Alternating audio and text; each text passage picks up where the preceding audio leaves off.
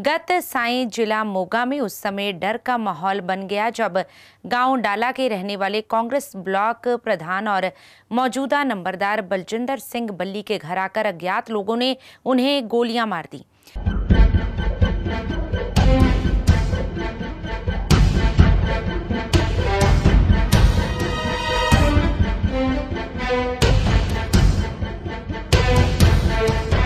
बाद बलजिंदर सिंह बल्ली को मोगा के मेडिसिटी अस्पताल में घायल अवस्था में भर्ती करवाया गया, जहाँ इलाज के दौरान उनकी मौत हो गई। वहीं घटना की सूचना मिलते ही मोगा के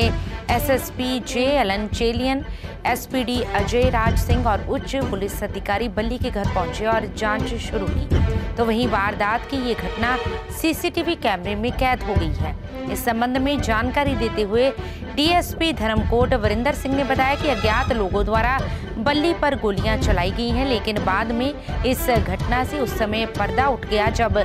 गैंगस्टर अर्श डल्ला ने अपनी फेसबुक पर एक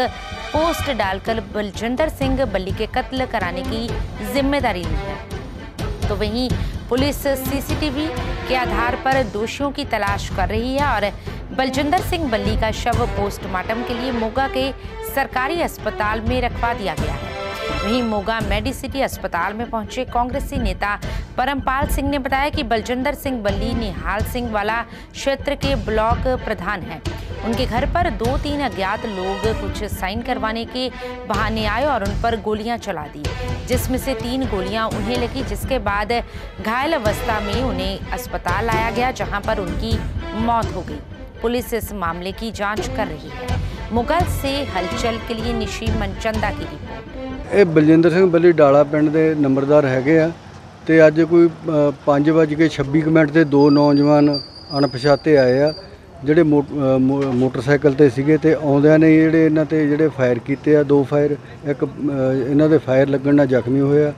ਤੇ ਉਸ ਤੋਂ ਬਾਅਦ ਹਸਪਤਾਲ ਲਿਆਂਦੇ ਗਏ ਜਿੱਥੇ ਉਹਨਾਂ ਦੀ ਮੌਤ ਹੋਈ ਆ ਤੇ ਇਹਨਾਂ ਦੇ ਖਿਲਾਫ ਕਾਰਵਾਈ ਕਰ ਰਹੇ ਆ।